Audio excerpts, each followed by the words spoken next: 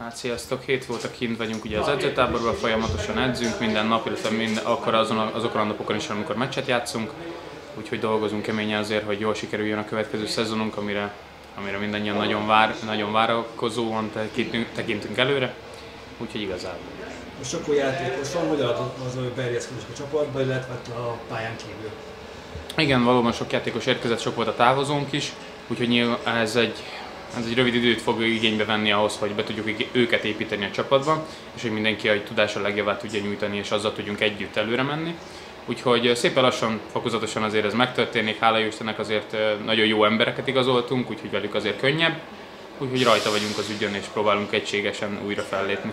Három kemény meccsünk egyben megvolt, kettő még lesz.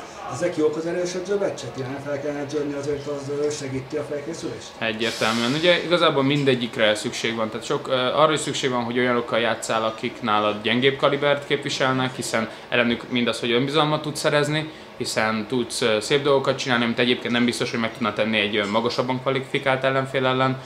Úgyhogy azok a mérkőzések is fontosak, illetve az erős csapatok ellen is fontos a mérkőzés, mert ott viszont olyan elemeket tudunk gyakorolni, amit nem biztos, hogy a bajnokságban túl sokszor alkalmaznánk, viszont egy-egy ilyen csapat úgy be tud minket szorítani a kapunk elé, ahogy nem biztos, és, azt, és ha azt a nyomást kibírjuk, akkor ezt valószínűleg az MB2 is meg fogjuk tudni oldani.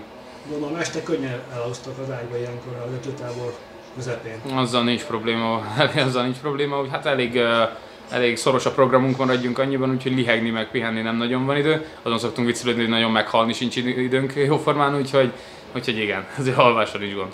Köszönjük és jó munkát! Köszönjük szépen!